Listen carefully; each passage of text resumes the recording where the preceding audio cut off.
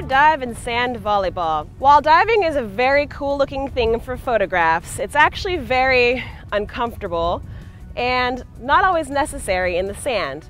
Once you dive for a ball, the play is still continuing, so you have to get up and then go to offense. When you dive, it is actually should be your last ditch effort to go for a ball. Diving should be done when you're already in a defensive stance and you're fairly low to the ground. If you're diving from up here, look how much further it is for me to go to the ground. It's about five feet. Once you get older, the five foot fall hurts quite a bit more. So you want to be lower to the ground already, so when you make a dive move, you're only going two to three feet to the ground. And if you get really low, only one foot, and then it's easier to push back up. You want to dive, you want to try and land instead of fully on your stomach. Try to land more on your side. That protects a lot of your organs. And you don't want to dive fully extended with your arm because that's how you get shoulder injuries. If you dive and then hit the sand with your arm instead of on your side, it sends a shock wave all the way up your body.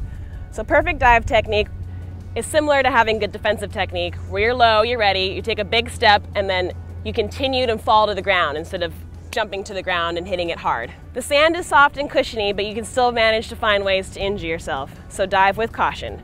Try and get your feet to the ball and lift, and only dive at a last resort. Those are a couple of ways that you can use diving in beach volleyball.